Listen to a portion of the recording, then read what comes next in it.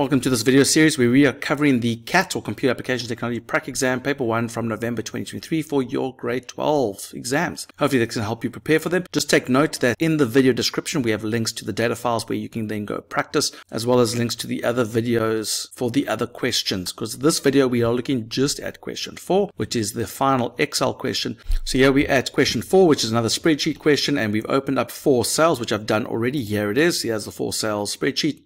Just a reminder again, when they tell you to work in a particular worksheet, make sure that you are in the correct one. You don't want to be making changes to the wrong sheet. So the sales worksheet, so I'll come over here, we are in sales, so that's great. That's a good start. And then let's start with 4.1. Change the format of column H to an appropriate data type and make sure that all the information in the column is visible. So let's go to column H. So let's find column. There's column H. So first of all, we can't see this data. So the first thing I'm going to do is I'm going to double click over here to widen the column. The moment you see those hashes, it means means that the data is not visible. So by double clicking at the top there, oh, there's a little message. I will click, okay, we're probably going to have to sort that out at some point. We've just made it a bit bigger. You could have manually done it and make it a bit bigger, but so you can see everything, but that's the first thing. But they want us to change the format of column H, the whole of column H. So I'm assuming all of this data over here, we want to change. You see all the data over there. We want to change it so that it's an appropriate value. So total cost, that's got to do with money. So I would assume we're going to change it either some sort of currency or accounting. They haven't been specific, so I'm assuming currency is fine. I think they'll accept either one. So if we do that, you'll notice that, oh, even then it's still not big enough. So let's make it a little bit bigger. So what you can do, just remind you, you can click over there on the edge and it'll make it big enough so that everything can fit. Okay, so there we go. So we can see all the values. So that's, I think, the first two marks. Then 4.2, add a function in C3. So let's go find C3. There's C3 over there. So there's actually a formula there already. Was an attempt to determine if the total interest is 8% of the total car prices. However, the function displays the incorrect result. So we must correct this one. So they want the total interest. They want E3 is 8% of the total car prices. So over here, the unfortunate bit is it's referring to C3 in its formula, which means it's probably got a, that's that circular reference message that popped up. So C3 is referring to itself in the formula. We want a formula to determine if the total interest is 8% of the total cost. So this is going to say yes or no, true or false. So that's why there's an equal to sign. So we want to determine if the total interest is 8%. So the total interest is what? The total interest is E3, not C3. So we want to say if E3, so let's change that to E3 over there, if the total interest is the same equal to 8% of the total car prices. So we're going to say uh, if it's 8%, which is 0.08, that is correct, of the total car prices, sum of E, so the total of all the car prices. So there we go. That is the total of all the car prices, and it's times by 0.08, which is 8%. We want to ask if that is the same as E3, and we're going to press enter, and it says false. That is saying that it's not the same. So there we go. At least we've taken the error out. Okay, so it was just simply that, and it's one mark, so that makes sense. Insert a function in C5 to calculate the total price of all the Hyundai models, Hyundai i models. I don't know if that's maybe a tricky part. Let's just have a look at that. In C5, so let's go to C5. We want to find all the Hyundai i models. So how do you, so there's Hyundai, but they want the i models like the i30 or the iX. No, but that's a BMW iX. But is there another i value? i20. So it's not just i, it's Hyundai, and there must be an i over there. So we are trying to find the total price. Now it's six marks, which means there's quite a bit that we need to do here. So let's think about this logically. So we want the total price, column E. So we want to add up the total price if the brand is Hyundai and if the type of Hyundai has an R in the front of it. Okay, so let's do that. So we are summing the total price, which means we're summing all these prices based on two criteria, which means we are using a sum if. So we can say equals sum if, but we are doing two criteria. We're looking at the brand and the model. So that's actually sum if ifs. So to do sum ifs, what do we do first? Now first, with sum ifs, it's slightly different to normal sum if. Sum if, you do the, the range criteria, then your criteria, then you, what you're summing. But with the sum ifs, we've got the sum range first. What are we summing first? We want to sum the price, column E. So I'm going to take all of these values all the way down. So take note, it's from 9 to 50. So let's put a comma there. Now, we put our range of our first criteria. So the range of our first criteria, we're looking at this block here. So it's also going to go from 9 until 50. Make sure that your numbers match. 9 to 50, 9 to 50. So there we go. We're looking in the red column. What are we looking for? We're looking for the word Hyundai. So let's go. Double quote. Remember your criteria must be in double quotes. And we're looking for the word Hyundai. Okay, I drive a Hyundai. Actually, I drive a Hyundai i10, which means my car, I've got the cheaper version. My car would be picked up in this thing. So let's go. So we're looking in the red block for the word Hyundai. Make sure you spell it correctly. Then we want to look in the second criteria. This is the difficult part. So we're going to look in this block now. So I'm going to select my second criteria range, which is going to be this block. It must also go from 9 to 50. Make sure that this is 9 to 50. So what are we looking for? Now I can't look for just R. That's what some of you might be thinking. Just do that. If I just do R, it's going to look for all of the blocks that equal R exactly, and none of them do. They must equal R with something after it. So R30, R10. Now I can't list all of them, but what I can do is I can use a wildcard which means I'm going to put a star there. If I put a star there, that means it's going to look for R and then anything after the R, any text that star will replace. So R30, yes, there's that 30 will be covered by the star. If I come over here, that R10 grand, 10 grand will be covered by the star. Star means anything, any text. It must start with an R and then there must be text after that R. So that's how we're going to do it. So let's go and press enter and it gives me a value which I assume must be correct. So there we go. So that's the six marks. So remember with SUMIFs, it's first what you sum in, then your first criteria block, what are you looking for in that block? Then your next criteria block, what are you looking for in that block? Taking note that in this case, we didn't want R's, we want R somethings, which means that's why we have the R star. So let's go to the next question. Modify the function in A11. So there's already a function in A11. Let's go to A11. A11, there we go. You can see it's not working. Modify it to display the initials of the customer in column B. So let's go look. So the customer in column B, the initials, do we? So we want all the letters. So we basically want to start copying. They're copying from the middle of B11, which is correct, but they are copying from zero until the length of B11. Now we don't want to start copying from zero. We want to start copying from the space. Do you see there's a space there? That's how we know when the initials start. So we need to find where the space is. Actually, we I don't even know if the space would work because what happens if their surname is like Fundamav and then they've got two, they've already got spaces. So there isn't a case like that. But just to be sure, let's be looking actually for the comma. Let's find the comma. So I'm actually going to say find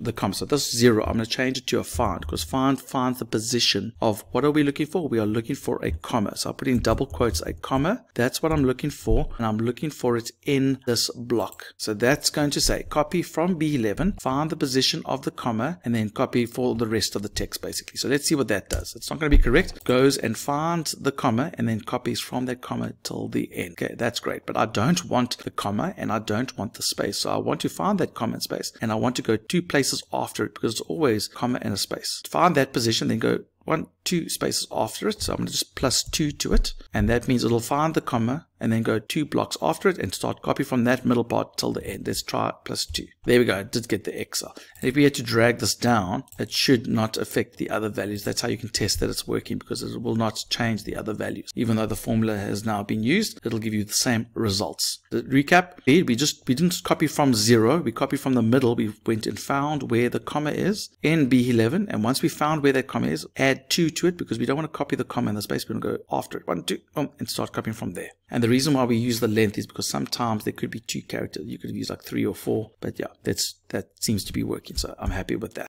If you had used the space, you would have gone plus one. I don't think space is potentially a problem because if your surname has spaces, then it's not going to do the, the, initials, but they didn't in this case. But there we go. So there are lots of ways of doing. That's the one way I did. Reminder, you can use these building blocks over here if you need help with calculating those things. So let's look at the next question. So number 4.5. The total cost of the car is calculated by adding the price and the interest. However, if the buyer wants to buy accessories, an additional 5% is added. So we must insert a formula in H10 to calculate the final cost. So that's a little bit more tricky. So we got two scenarios. So that's normally an if statement. So let's work this out. So let's go. If I come here, there's H10. We must work out the total cost. So we're basing it on the extras. So let's first, let's use building blocks. Let's see how we would do it using this. The total cost is calculated by adding the price and the interest. Price plus interest equals the price plus the interest. Are you happy with that formula? That's the price plus the interest. That's the price. But if they want accessories, then an additional 5% is added to the total cost. Okay, so if that's a yes, then they don't want that price. They want that price plus an extra 5%, which is equal to that value plus an extra 5%. So how do you add 5%? Well, it's 5% of 5%, 5 divided by 100 of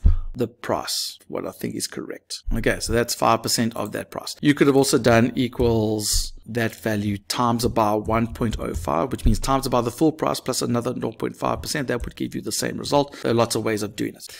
If this block here, the extras, that's how we know whether they get, if that block equals the letters YES, if that's a yes, then we are using this block. If it's not, then we're going to use that block, which is just the normal price. So the K10 is the price with the 5%, and the J1 is the one without. So, and if it's a yes, do we get that block? If it's not, we get that block. So let's see if we get the same result. I can't copy it down because I haven't done these for the other. So let's just copy these down over here. And then if, if I drag that down, we should see no change in those values. So therefore it's correct. So that's how you can use those building blocks. You could have also done it in one go. So instead of going K10, you could have said, well, that is equal to the price plus the interest times about 1.05. And then if it's not a yes, then you could replace the J10 with just that block plus that block.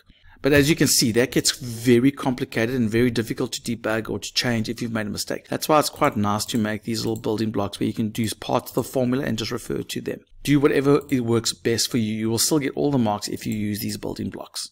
There we go. That one was quite tricky, but four marks. Let's move on to 4.6, the last bits for six marks. We must modify the chart in the chart worksheet. So let's go to the chart worksheet. So let's go to chart sheet. So there's our chart sheet. So they want us to do what? What do they want? The column colors have been set to vary by point. Okay, so let's first see it. First thing we must do, let's look at what's changed. So there's six things that we need to change about it. So let's see what we can identify is different. Okay, so the first thing we notice over here is that there's a legend over there. So there's the legend. So I'm going to come over here and we're going to click on the block and we're going to go and add a legend. So let's go add a legend and we want the legend to be added to the bottom. So there we go. Okay, now it says total price there and there it's got different cars. Now I'm tempted to come to chart design and and to actually switch the rows and columns so that we get that. I'm tempted to do that, but let's just wait. There's a little thing that they've mentioned here, which I don't know if you're aware of. They want you to change the column colors have been set to vary by point. Now, because there's such a big gap here between the different columns, that's why I don't want to do this because here you can see if I switch the rows and columns, they're right next to each other. So let's first see an option. Let's see if we change the colors to vary by point. Let's see I want to show you what's going to happen. So when we click on the data series and we're going to right click and we're going to format this data series. Now the first thing you'll notice is, oh, over here we can change them to cylinders. That's what I want. So there we go. That's another thing that we've done. So we've got the legend, we've got the cylinders, but now we want to vary the colors by a point. Let's see if that text option is there. So we're dealing with the fill option. So let's click on the fill you'll notice that the bubbles are around everyone. So all of them are going to be affected by what changes we make. And they vary colors by point. Look what happens when I do this. When I do this, it does vary the colors by a point, but you'll notice that the bottom has now changed the legend to each individual color because now the colors have changed, so the legend needs to change. So just take note of that. Even though we didn't want to maybe switch the row because then they would be right next to each other, this way we've got a nice little gap between them still, but we vary in the colors by a point, and now we're looking at individual values for each column. So just take note of that. So that looks a lot better. So we've already done that one. We've done the colors by point. That's two. And we've done the cylinders. But oh, wait, look here. There's, there's seven here and we've only got six. I think we're missing Audi. So let's go and format the data series. So let's right click and select the data. Let's go format that data.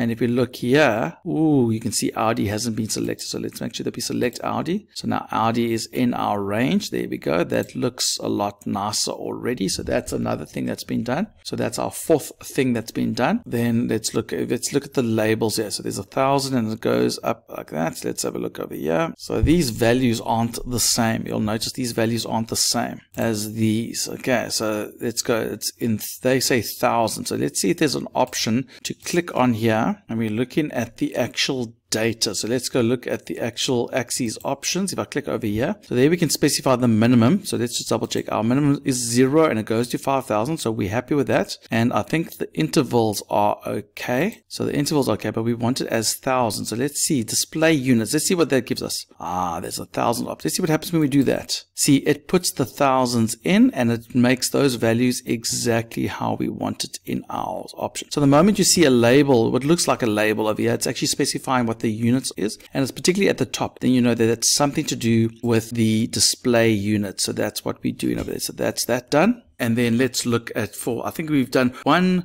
two, the colors three, adding Audi was four, that's five. There's one more thing that we need to do. What's the one more thing? I think it's those lines. Those lines are what need to be added to the grid lines. Let's go see how we add them. So we want to add grid lines. So I'm going to click over here to the formats area. This is the walls. And let's see if we can add, uh, maybe there's some more grid lines that we can add. So those are vertical lines that go up and down, major ones. If I click on major ones, oh, there we go. If I click on major, you see how I put those lines there. So I think that is the final thing. So there we go. I think that is done. It looks pretty close. Let's double check again. There we go. I think it's perfect. So there we go. I think that's it. We got all six marks. So we did six changes. I think that's all the marks and that's the end of the Excel question. Well done, everyone. We have now finished Excel. We can now move on to the Access question. Please support the channel by clicking the subscribe button, leave a like, leave a comment, and share us with your friends so we can help them as well. Tell them to subscribe to our YouTube channel as well as our other channels at Mr. Long Computer Terms as well as Mr. Long Education on TikTok. And remember, don't do the long way, do it the Mr. Long way.